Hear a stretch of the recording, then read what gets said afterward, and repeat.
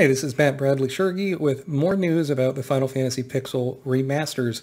Uh, the last video I did of this was pretty well received, so I thought I'd do a pretty big update on uh, some news that came today from the uh, Final Fantasy Portal, uh, the Japanese version that is. It is a lot better content than the uh, English version, and my Japanese is rusty, but with the magic of Google Translate, we can go and uh, try and see more stuff about these Pixel remasters that are coming out in a little bit over a week here, I believe. Um, Final Fantasy 1, 2, and 3 Pixel remasters are coming to Steam and mobile. So, uh, so let's get started. I'll uh, read the questions and the answers from the site and then give my commentary on them. And I hope you like it. If you like it, please uh, subscribe and like and comment and all these things my hands can't do. Why did you end up Pixel remastering? The early FF series was ported to various game consoles, but now there are fewer opportunities to play together. The development time is also different, and there is a difference in content.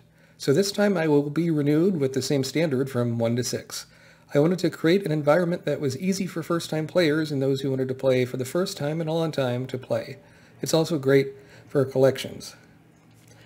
I mean, what this answer, and, and again, this is roughly translated from Google Translate Japanese to English, it also doesn't say who the interview is with. I assume it's a, a producer of, of this uh, Pixel remaster um, release of uh, Final Fantasy 1 through 6. Uh, I've heard rumors, by the way, that Final Fantasy 4 through 6 uh, might come out in September 2021. And, uh, and that'd be pretty cool. So just like a few months after, uh, I think it'd be smart for 4 through 6 to drop at the same time, just like 1, 2, and 3 are dropping at the same time in a little bit over a week here. So, I mean, this first question is saying why not the original versions, basically, right? Why the Pixel remasters? I talked about this at length in the video last week. I'll have a link to that in the show notes. So, uh, they wanted to have a consistent experience, and what I think is they wanted it to be, um, you know, there's a different expectation for, for games, and, and part of that involves like the difficulty of games. They get into that later in this interview.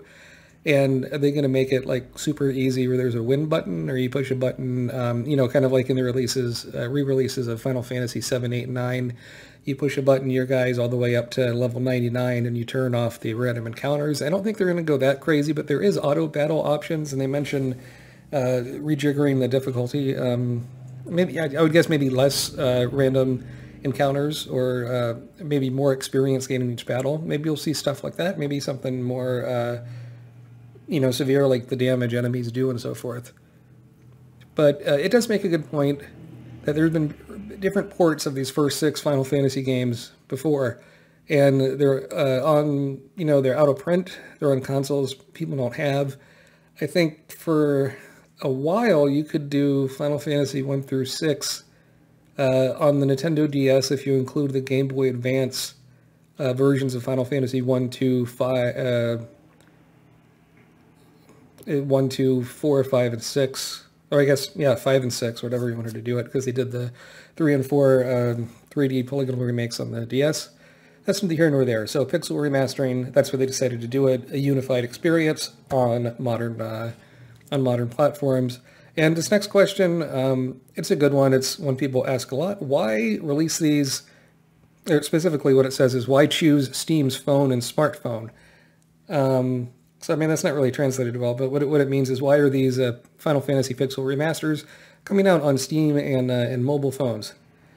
And um, they bring a, a, good point here. Uh, Steam, smart, and smartphone, uh, I'm going to kind of paraphrase here because some of the English is a bit dodgy. Steam and smartphone uh, releases of Final Fantasy are distributed uh, with the first six games, but the maintenance is severe because it's been over 10 years and with all the new um, capabilities of modern phones and you know the 64-bit requirement for um, new apps, at least on the iOS side, is makes the maintenance difficult and frankly not really worth it. Also, the resolution has gotten higher and higher on these phones, right? Um, and so they wanted to remaster it so people could play the game, these games, uh, for years and years to come, right? So I mean, the idea is they're going to do a, presumably a good job with this remaster that they can re-release it over and over again on different platforms for years and years. Uh, this next part is, was really highlighted in um, a lot of headlines, uh, most notably in IGN. this morning. Uh, if there are many requests, I will do my best so I can play in more environments. Uh, so it's basically saying if, if people demand it, and frankly, if the sales are good enough for these Steam and mobile versions, you might see this Final Fantasy Pixel Remasters ported to something like Nintendo Switch or um, Sony PlayStation 5 or Xbox Series X and all that stuff. And that would be great. I would love for that to happen. So, and I think this will sell um, better than people think. Uh, it's coming from a better place than some of the other remakes we've seen before um, on, on mobile and Steam. So uh, I'm going to buy it. I hope everyone buys it so we get to see this on consoles and I'll buy it again on consoles because I'm enough of a Final Fantasy nut. So now it says, uh, are you, the next question, porting Kupo from the original version? I mean, so, I mean, is this being ported one-to-one -one from the original version? And uh, not really, is, is what the answer comes to. It says, so based on the original NES and SNES versions, each one has been renewed. Uh, I'm adjusting the game balance as it is. Some elements have not been added in past. It says transplants, but it means like ports. But this time, the gallery function and sound player are substantial. Also, it, it mentions here uh, the Steam and smartphone versions have a separate UI, so that's good to know.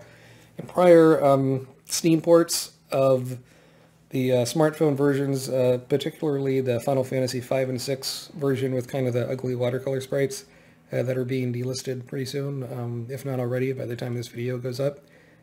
They uh, just have the mobile interface to um, the desktop computers, right, to the Steam version. And that does not, it's not one-to-one, it's a different experience on a desktop. Uh, you have um, usually higher resolution than on a smartphone or a laptop for that matter. Um, and it takes up the whole screen and there's all sort of things to consider. You want it to look best for whatever platform it is on. So that it's separate uh, UI for the Steam and smartphone versions. That's that's good to see. And uh, it mentions you can play with a. It is a it is a game that's easy to play with the controller and keyboard, and it's also going to be easy to play for people with a touch panel. It just means touch screen. Okay, so the next one is is a really, I think, kind of uh, nitpicky, peculiar question, uh, but I'm not going to skip anything here for completionist sake the Steam bundled version of Final Fantasy 1 through 6 Pixel Remaster, they can be bought together. But um, why is it not the case on smartphones? And it says uh, the answer is is kind of corporate fuffery. Um, there's various stores on smartphones and there are places where there's no mechanism to sell them together. We may be able to uh, respond uh, in the future, but for the time being, this is it. Uh, choose what you want for each title. So um, I think, you know, having a bundle on the smartphone version is smart. The older um, releases of Final Fantasy 1 through 6 on mobile, you could get them as a bundle for, I mean, it was pretty expensive. I think it was like $60 or $69. Um, it included the Final Fantasy IV After Years as part of that. So the next question is, uh, Pixel, what does Pixel Remaster mean? It, it's a kind of puzzling title. Uh, we kind of went over this with an earlier question, but it's saying, you know, I'm, I'm redoing the graphics based on uh, pixels. Moreover, Shibuya Toko, who has been drawing um, pixelated characters since the original releases of Final Fantasy 1 through 6, is directly producing all the player characters. So she's she's overseeing what the sprites for the main characters you control look like is, what they're getting at. Um, although it's taking care of the atmosphere of the time, it has been carefully renewed so that it can be reflected on modern high-resolution screens.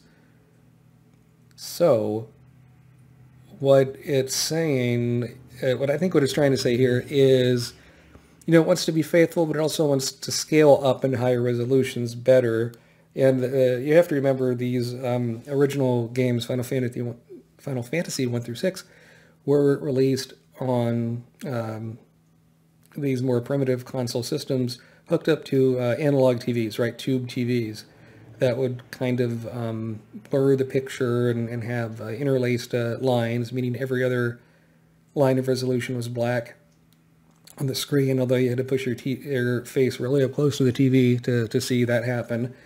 And because of all that, it's really something uh, you know, they had to design the pixels a certain way, and when you blow them up to modern, like, full HD resolutions, 4K, and even, you know, bigger 8K, whatever the latest and greatest is, it'll look kind of weird. People might look like they have, like, big bat, black uh, blobs on their face and all that stuff. So, there you go. Uh, the next question is uh, of interest to me because I love video game music. So uh, what about the remastered music? So the, the BGM, which just means background music, is arranged under the supervision of the original composer, Nobuo Uematsu. Uh, all the songs are arranged with a good feeling. I, I, I, don't know what they're trying to get at here. Like, it, it's supposed to sound faithful, I think is what they're getting at. While thinking uh, about not breaking the image of the original song, he arranged to re-express and restore things that couldn't be realized at the time due to hard constraints. Nobuo-san uh, also did smart things as well. The sound effects are reproduced as close to the original as possible. So, that sound effects thing is interesting. Are the sound effects going to sound different? Are they going to be the same as the old ones, but just uh, in higher fidelity because they couldn't have um, very high quality on, on the music and sound effects, uh, in particular on the, the NES games, the first three games in the system? Uh, that'll be interesting to see if the sound effects sound really weird or, or as re- better than remembered and so forth.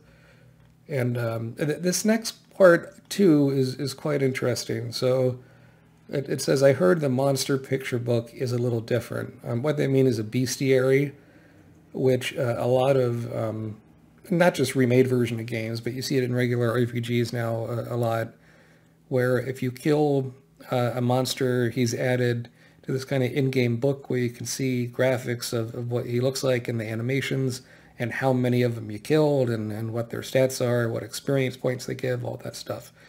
So uh, the response we get, and has a useful picture here, monster pictorial books uh, have not been rare, even in transplants. Uh, and it's after every time it says transplant, just, I'm just going to say port. Um, this time they're a little elaborate. The monsters you encounter are added to a list, but there's a mode to place them on the world map as if they're habitat maps.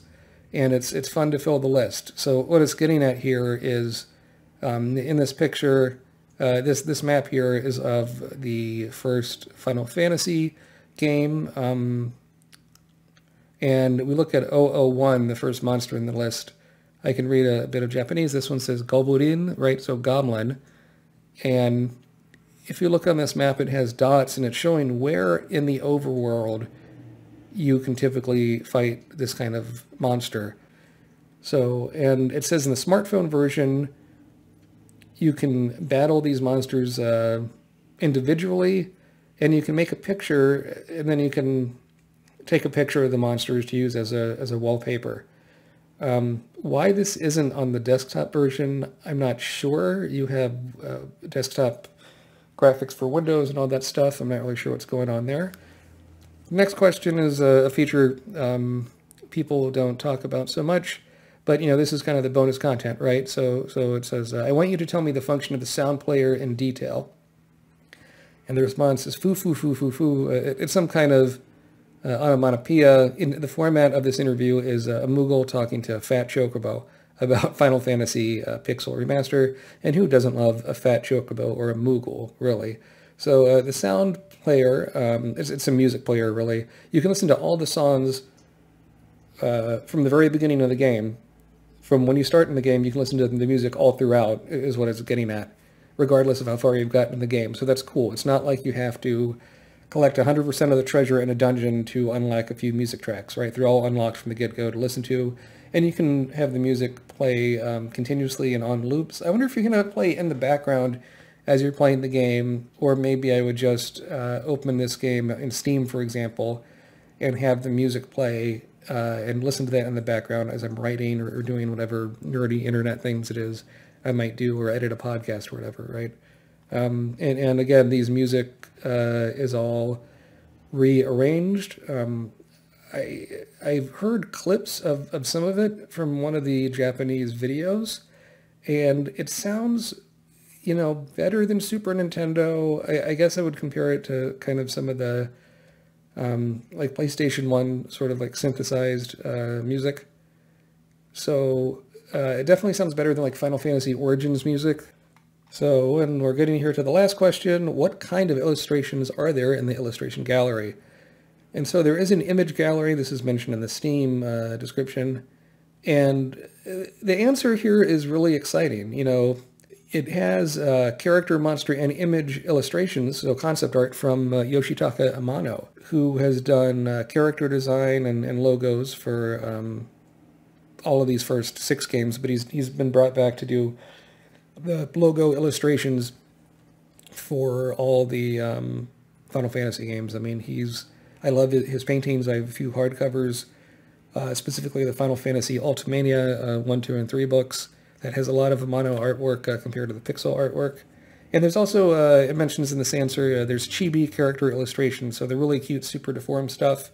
Um, some of that illustrations you've seen in the manuals, and uh, and just like with the the music, all of the illustrations are unlocked. It's not paywalled behind um, anything in the game. I shouldn't have said paywalled, but you know, it's not locked between a, a certain achievement or requirement. So, and that's about it. You know, this is a fair bit of information.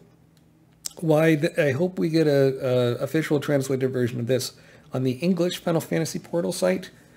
Um, but uh, glad uh, people are enjoying these looks I'm taking at news of Final Fantasy Pixel Remastered. And of course, I'm going to be streaming these uh, when these come out. So please look forward to that.